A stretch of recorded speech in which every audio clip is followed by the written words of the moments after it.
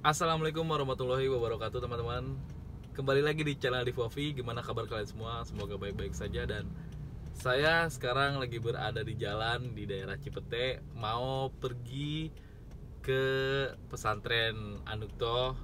Dan kebetulan adik saya di situ yang ketiga Si Atar. Dan saya menyokap sama mama. Dia lagi beli nasi padang teman-teman. Buat eh, entah itu makan siang atau buat buka karena memang katanya si Atar ini eh, kehabisan uang gitu. Kehabisan eh, apa udah nggak pegang pegangan gitu. Akhirnya kita pergilah eh, sama nyokap.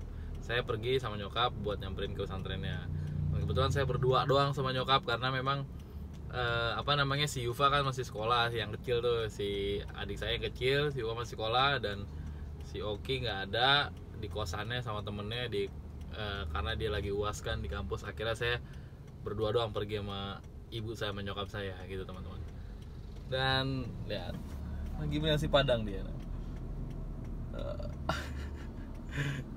nggak tahu buat buka atau buat atau buat makan siang karena memang kan eh, katanya kebiasaan di Anukta itu Senin sampai Kamisnya tuh puasa Senin Senin Kamis puasa gitu. Karena kebetulan ini hari Kamis jadinya kita bawain aja nggak tahu nanti setelah si Atar eh, apa terserah si Atar mau di buat buka atau buat makan siang gitu teman-teman. Dan ini udah udah dikit lagi sampai. Dan cuaca di sini tuh di Tangerang kayaknya ke belakang ke belakangan ini tuh udah apa ya hujan terus gitu teman-teman. Ya kan hujan terus terus apa namanya antara pagi hujan terus sorenya juga hujan. Ada kali sehari dua dua kali sampai tiga kali mungkin malamnya juga dini harinya juga hujan terus gitu. Jadi nggak bisa diprediksi Cua- cuaca sekarang nih Tangerang ini nih. Aduh kacau dah pokoknya. Tapi tetap bersyukur aja teman-teman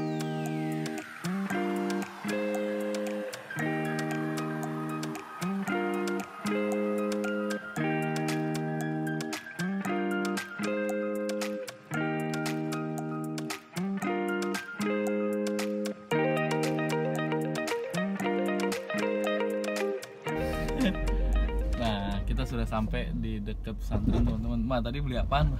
Beli nasi padang. Si padang nasi buat padang buat si kakak. Buat- tiga bungkus. buat Atar Iya. katanya dia puasa Ya kan buat buka. oh berarti nggak buat makan siang Iya. dia mendingan kasih uangnya aja beli nanti siang takutnya kan Kan dia nggak boleh keluar. oh gitu Eh, Dia nggak boleh keluar.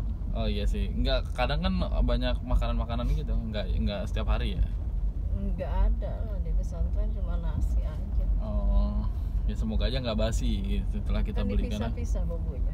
oh dipisah-pisah ya nggak basi lah. Solo dan kita udah nyampe nih teman-teman nih. Kita udah nyampe nggak tahu atarnya ada atau enggak Si terus.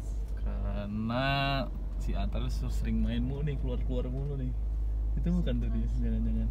Udah terus. Terus si teras ada terus. kita udah nyampe di Anuk tuh teman-teman. Tinggal cari parkirnya aja sekarang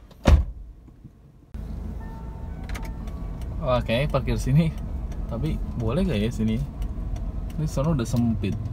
Kita parkir sini kayak boleh kali ya sebentar. Kita kita cari lagi coba di depan. Kita muter dulu deh. Tapi ada yang parkir banyak di situ tuh lihat. Kita muter dulu deh.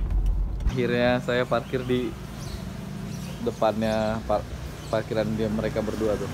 Nggak apa-apa lah ya orang cuma sebentar doang. Sekarang kita masuk ke dalam tapi atarnya belum belum keluar nggak tahu nih mau nunggu atarnya keluar atau Nunggu. kita masuk hah Nggak boleh masuk. oh nggak boleh masuk kenapa emang Bukan jam besuk kan?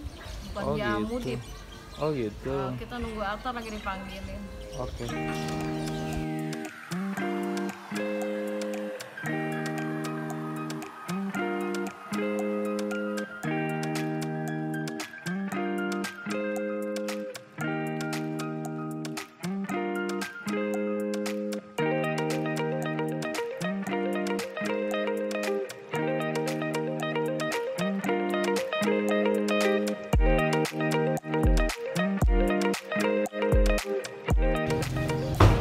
dia orangnya tuh. Widih. Widih. Selo amat, selo. Baru bangun aja. Hah? Baru bangun. Buru. Lama nih. Emang nggak boleh masuk tar? bukan nggak boleh masuk bukan hari mudik kan Oh gitu. iya Emang duit kamu udah habis kak? udah udah habis Eh, terus ngasih duit uang sini. Itu itu lima ribu buat berapa hari tar? ya stupnya atas Hah? Atas kalau kagak jajan minum Ya, ntar hari minggu juga insya Allah kan kemari lagi Ya udah. Ya udah yuk, udah jam setengah tiga.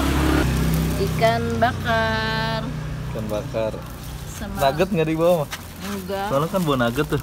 sama ayam bakar nasi padangnya dipisah-pisah itu sama manggis tuh kak mana manggis tuh oh, itu tuh udah ini doang udah Udah kan? Eh, soalnya Atar, eh Yufa nih sekolah. sekolah oh lagi eskul Dan teman-teman tadi udah selesai kita eh, apa namanya jenguknya atau ngasih makanan gitulah. Karena memang pesantren deket kan dari rumah itu sekitar nggak nyampe setengah jam kalau misalnya nggak macet. Paling cuman 20 menit sampai 25 menit. Dan tadi mama juga nyokap ngasih nasi padang masakan terus sama ngasih uang saku, uang jajan. Ya terus apalagi tadi ngasih apa lagi mau udah ya? sama itu manggis Oh iya sama buah-buahan manggis. Manggis, Mungkin iya. nanti buat temen bukanya dia lah gitu. Sama semoga aja nggak basi makanannya ya kan. enggak kok dipisah-pisah Semoga ya semoga aja nggak basi gitu. lauknya dipisah Oke teman-teman, segitu saya video saya. Saya di Fofi pamit undur diri. Kalau misalnya suka jangan lupa like, komen dan subscribe juga channel saya. Saya di Fofi. Assalamualaikum warahmatullahi wabarakatuh.